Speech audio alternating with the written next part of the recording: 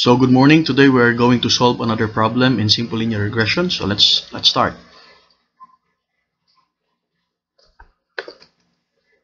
So for example, referring to this scenario, same scenario in our previous example, we wanted to predict the grades. This is our dependent variable using the daily exercise time of our respondents.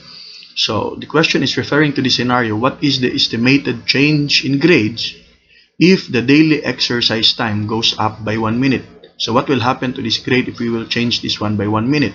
So remember in, in our equation, we're going to, uh, the equation is y prime, uh, y bar, y hat is equal to a plus, plus bx. And if we're going to use our calculator to solve for the value of our a, so let's try to mode and then you go to the stat and then a plus bx2 and then let's input the data 55 30 25 10 and 15 and then try go back to 1 and then input 75 90 85 80 75 and then 75 and let's try to find the value of a and our b here to find the, the equation of our problem here.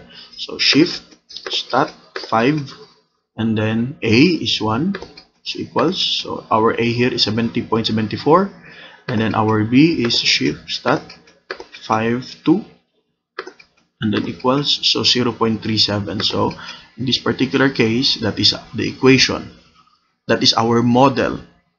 Okay?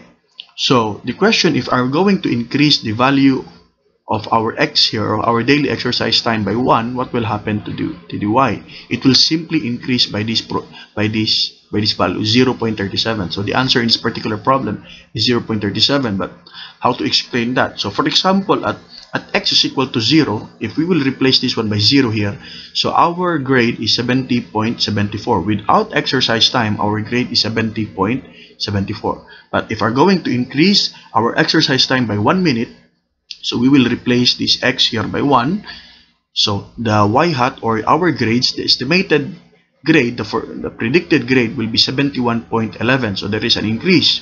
So in order to change to to to get the the mean change, so we just have to sub subtract this one, 71.11 minus 70.4, so that is equal to 0.37. Okay. So good luck and God bless.